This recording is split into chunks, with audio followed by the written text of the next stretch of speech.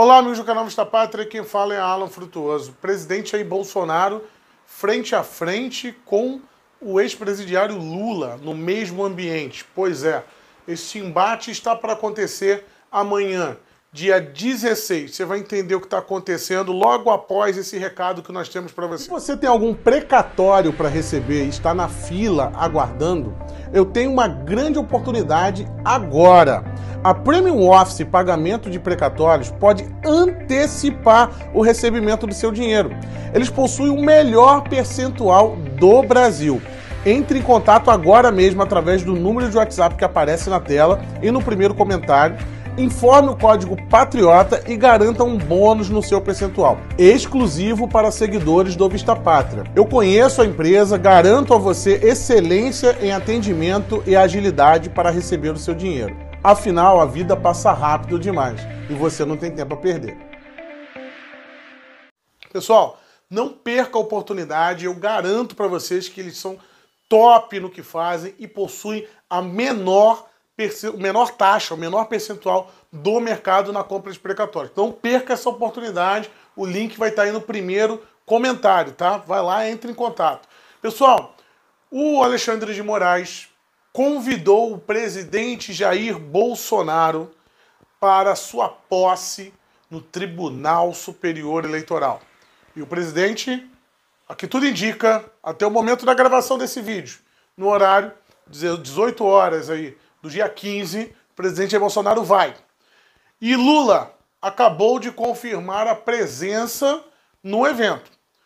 Porém, o Lula só aceitou, só aceitou participar do evento porque ele descobriu que o presidente Jair Bolsonaro não irá discursar.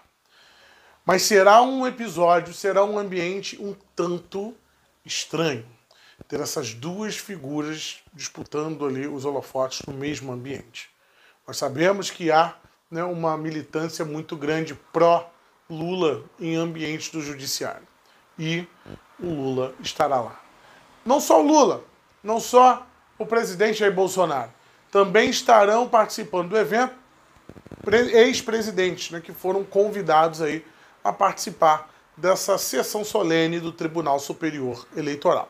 Hoje, mais cedo, trouxe um vídeo para vocês falando né, de um membro aí do, do, da Justiça Eleitoral, no caso o Tribunal Regional do Rio de Janeiro, o desembargador que preside a corte, disse que vai mandar prender quem reclamar da caixinha no dia da eleição. Né? Isso vai ser uma ordem para os policiais militares, civis e também para as Forças Armadas. Vamos ver como que vai se dar isso. Mas o presidente Jair Bolsonaro, ele entra forte nisso. E o presidente, diferente de outras situações, ele decidiu comparecer. Como eu falei, notícia até o momento da gravação desse vídeo. Pode ser que você esteja assistindo depois, o presidente tenha voltado atrás por algum motivo. Mas o fato é esse. Teremos os dois no mesmo local. Ainda há muita dúvida se teremos o presidente Jair Bolsonaro debatendo com o Lula. Porque o que eles querem fazer? Irem para o debate mas o Lula não vai. E aí o presidente Jair Bolsonaro vira um alvo de Ciro Gomes, um alvo de Simone Tebet, né, um alvo dessas pessoas que não possuem relevância no cenário eleitoral. Então o presidente falou: eu participo de todos os debates, desde que o Lula também participe do debate. Eu quero aproveitar aqui para vocês lembrar, dia 22, presidente Jair Bolsonaro estará no Rio de Janeiro.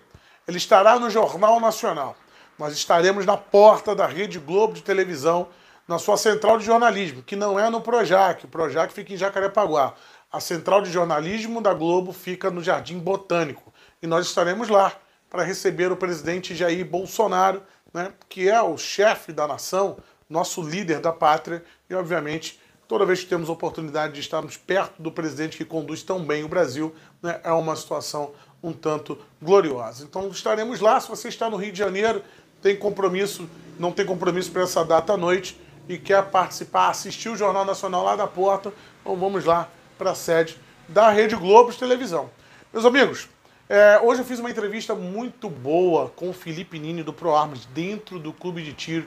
Nós atiramos, algumas imagens já estão aí no Instagram do Vista Pátria e no meu Instagram pessoal. Como é que eu sigo lá no Instagram para ver as imagens? Está aí na descrição do vídeo, segue lá. E a entrevista é muito boa, Vamos tentar levar ao ar amanhã. Também tem entrevista aí com um ex-ministro da Cidadania. O ministro está licenciado para poder concorrer ao governo da Bahia. Camila Ábido comandou essa entrevista enquanto eu entrevistava o Felipe Nini. Estamos aqui trabalhando incessantemente para trazer material e conteúdo relevante para você. Então inscreva-se no canal, compartilhe o vídeo para mais pessoas. Forte abraço. Tchau, tchau.